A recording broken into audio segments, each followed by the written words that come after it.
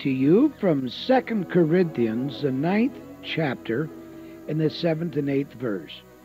You must each decide in your heart how much to give, and don't give reluctantly or in response to pressure, for God loves a person who gives cheerfully, and God will generously provide all you need.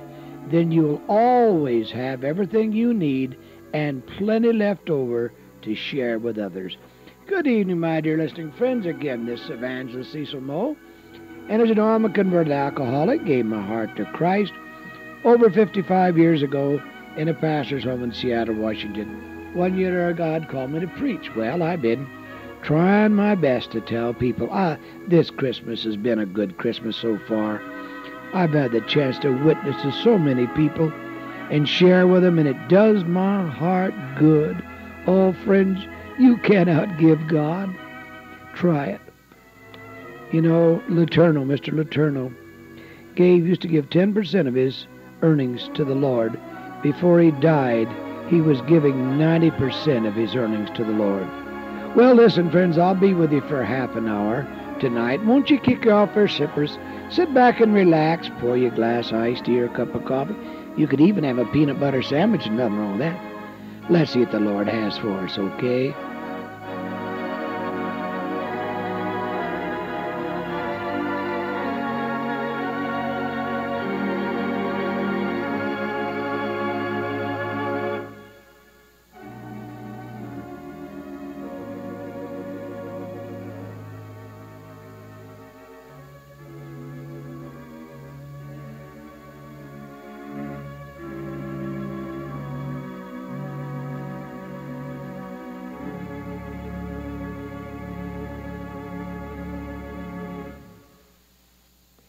If you have your Bibles with you, turn with me to the book of James, and let's begin reading with the in the second chapter in the 14th verse.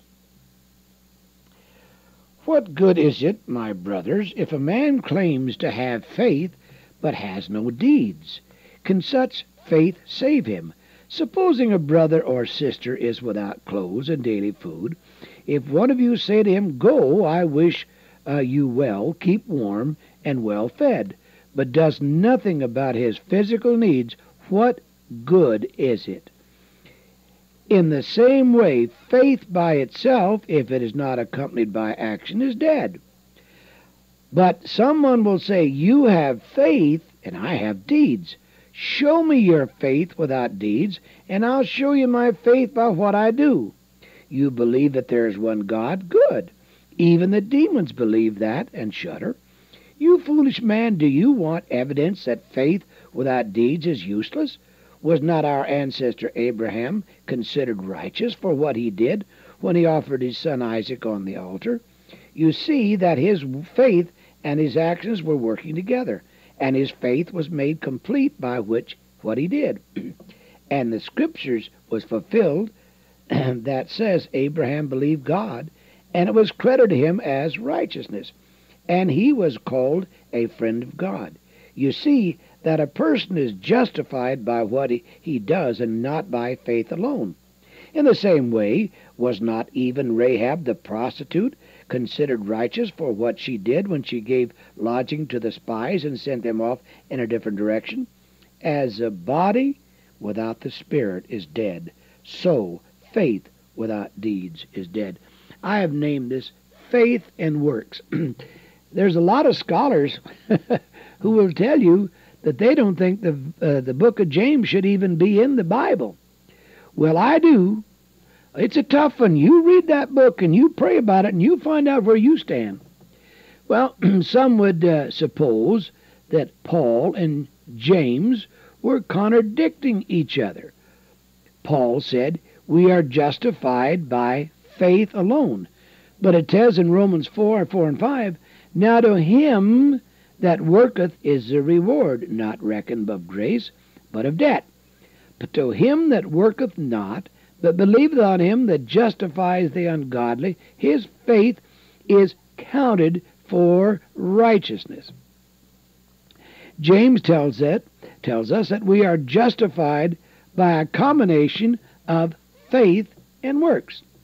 Now here it says in James 2:24, "You see then how that by works a man is justified and not by faith only." Now listen. It is true that one is saved by faith.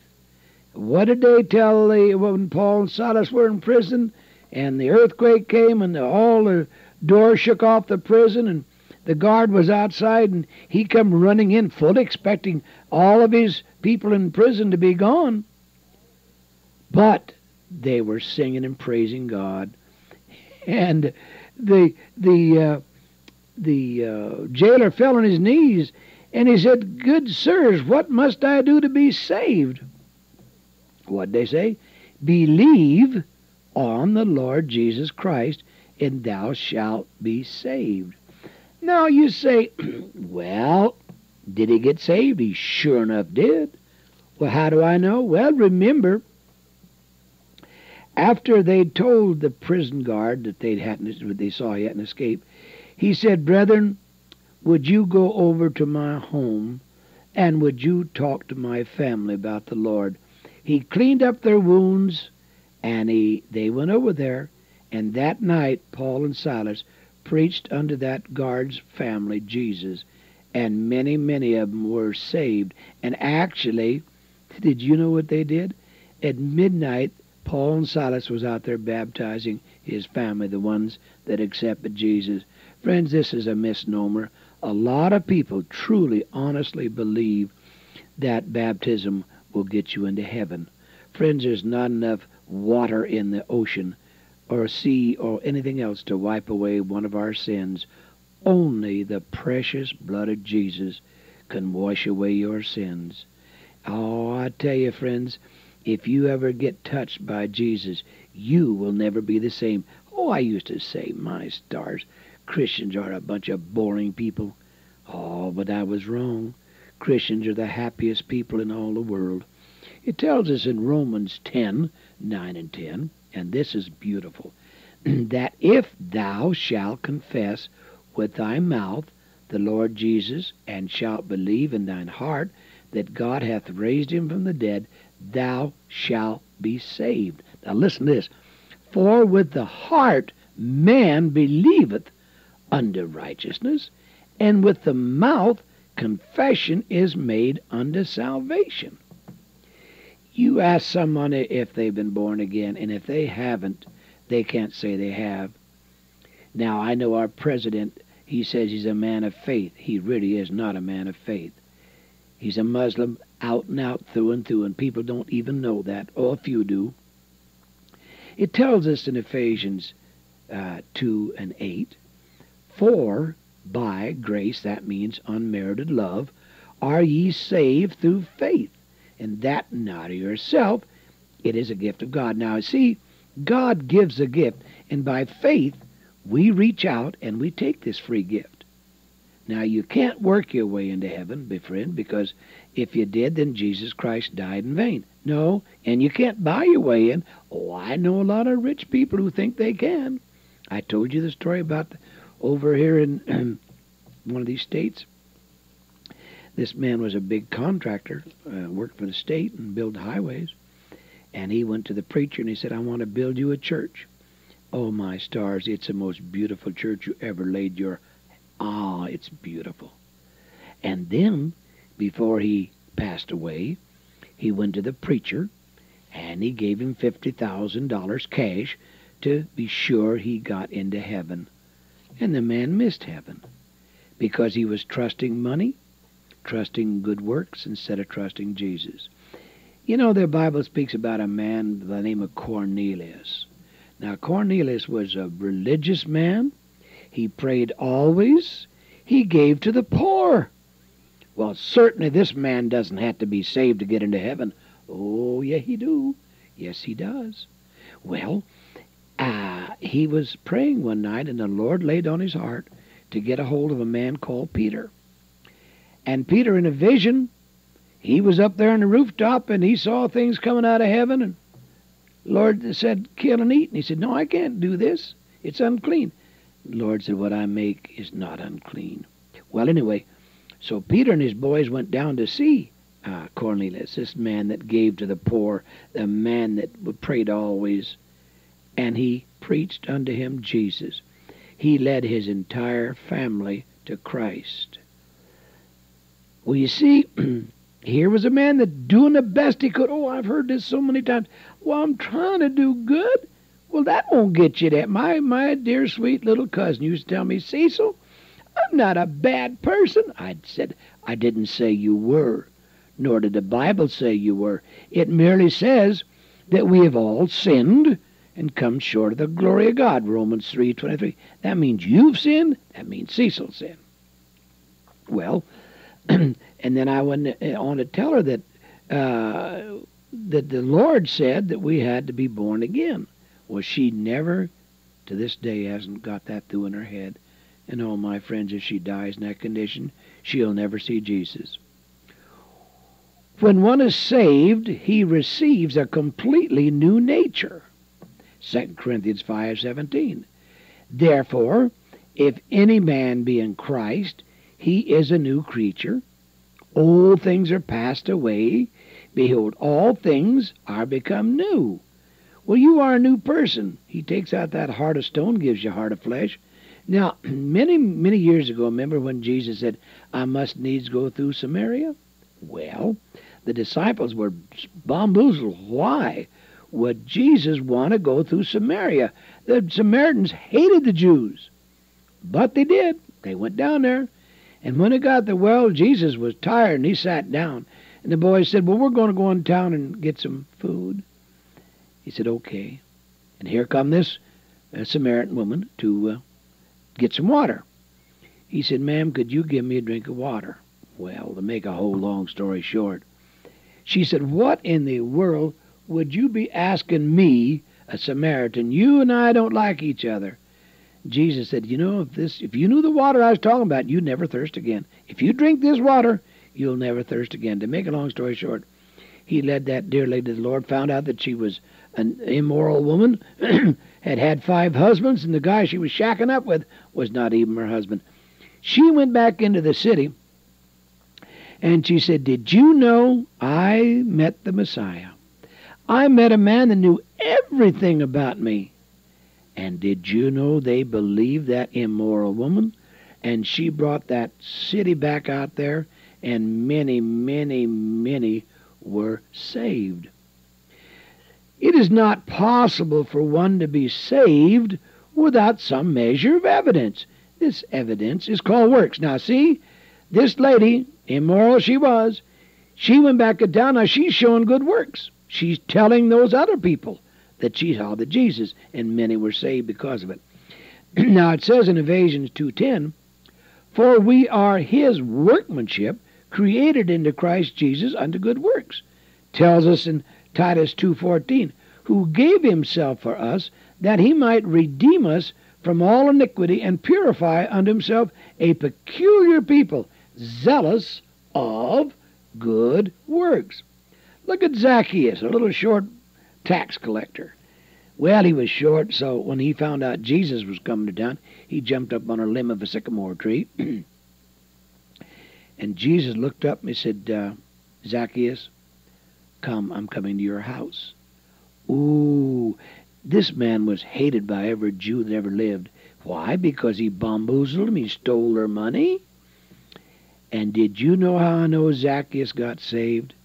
Well, because he said, I'm going to give back the money that I stole from people. See, there are some good works. Faith without works is of no benefit. And I read in four, verse 14 and 16, what good is it, my brethren, if a man claims to have faith but has no deeds? Can such faith save him? Supposing a brother or sister is without clothes and daily food. if one of you say to him, Go, I wish you well, keep warm and well fed, but does nothing about his physical needs, what good is it? So, faith without works has no benefit. We have here an illustration. One may say he has faith, but the proof of it is seen in what he does. To say that you have it, and truly having it, are two different uh, things together. Now, the Bible said faith without works is dead. Now, here we go. In the same, verse 17, in the same way, faith by itself, if it is not accompanied by action, is dead. But someone will say, You have faith, I have deeds. He said, Show me your faith without deeds, and I will show you my faith by what I do. You believe that there is one God. Good. Even the demons believe and shudder. Well, when a person is in the hospital and they put their instruments on him and check his vital signs, what are they doing? They're seeing that if this person is dead or alive. Now, James is checking the vital signs. If there are no works, the faith is a dead faith. Now, works then is proof. No works, no life. Even the devils believe he, but he has no spiritual works. Again, verse 18. But someone will say, You have faith, I have deeds. Show me your faith without your deeds, and I'll show you my faith by what I do. Well, works that is proof. No works, no life. Here is a challenge to those who disagree with this message. Find just one out of the many who were saved in the Bible who did not bring forth some fruit. It may not be much fruit, but there are degrees of fruit. Let me read in John 15, 1 through 5. I am the true vine, and my Father is a gardener. He cut off every branch in me that bears no fruit, while every branch that does bear fruit he prunes so that it will be more fruitful. You are already clean because of the word. I have spoken to you. Remain in me, and I'll remain in you. No branch can bear fruit by itself. It must remain in the vine. Neither can bear neither can you bear fruit unless you remain in me. I am the vine, ye are the branches. If a man remain in me, and I in him, he will bear much fruit. Apart from me, you can do nothing. Friends, I'm going to ask you have you ever tried to lead a soul to Christ in the flesh? Nothing will happen, trust me. Now, the Bible says there was much fruit much fruit. And I read in verse 2 Suppose a man comes into your meeting wearing a gold ring and fine clothes, and a poor man is shabby and clothes, and he also comes in. If you show special attention to the man wearing the fine clothes, say, Here's a good seat for you, but say to the poor man, You stand there or sit on the floor by my feet. Have you not discriminated amongst yourselves and become judges with evil thoughts? Now, there's little fruit and there's much fruit. And then there's more fruit. It may not be produced at the instant of being saved.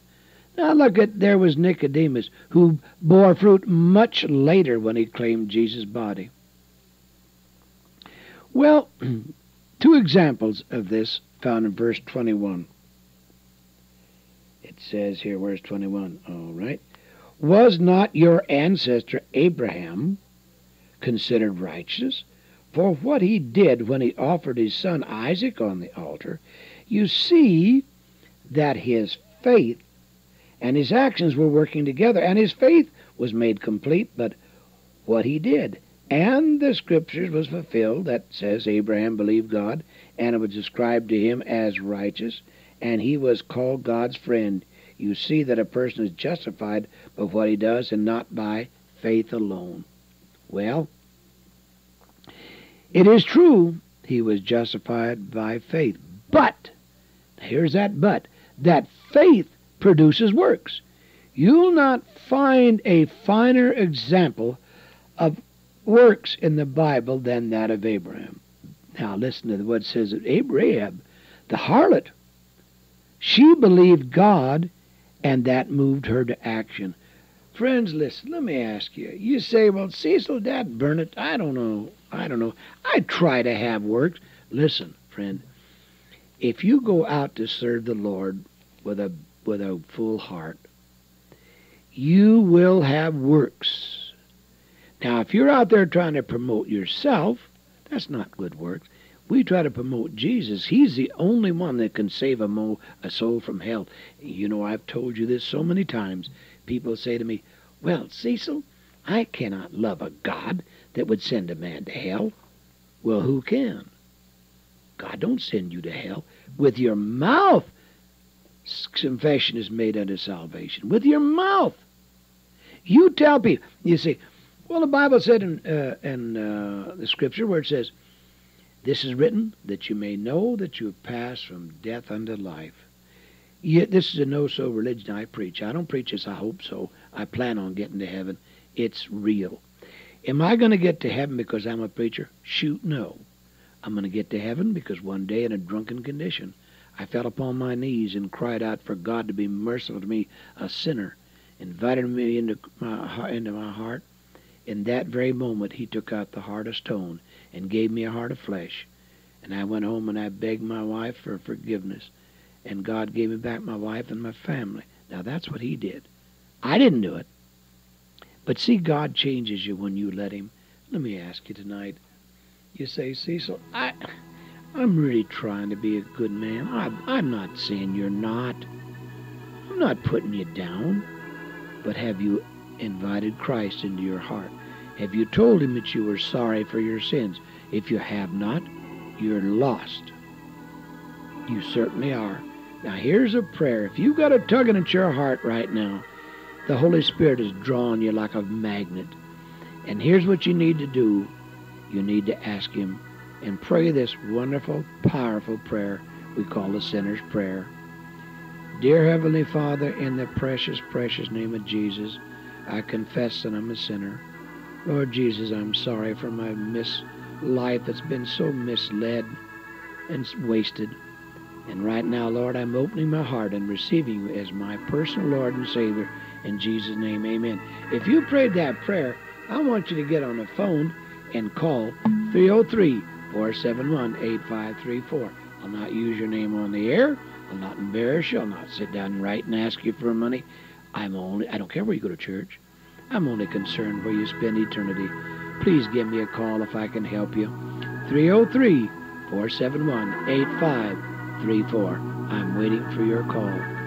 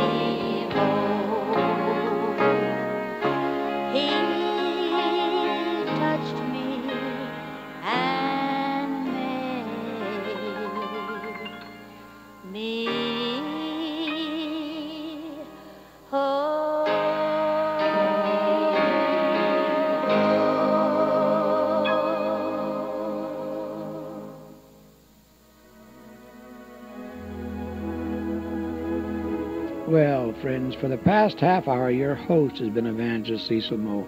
Thank you so much for listening. Really pray for us this couple of weeks. We've got about uh, five uh, different uh, services in the prison this couple of weeks. Pray for our health and pray that God will just continue to give us a holy boldness to witness for people. I go to a grocery store and I start checking out and I say, Did you know what? God loves you. And I tell you, you'd be surprised the looks you get. But I just can't help it. God does love you. And He wants to take you to heaven. But if you're a Christian, you need to get busy for the Lord. You're going to have to stand before God just like I am to give an account for what we've did with our lives. Where's those sheaves? He said us to bring them in.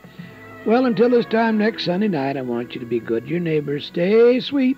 Keep looking up, for this wonderful, wonderful Jesus is coming soon. Good night, and may God bless you real, real good.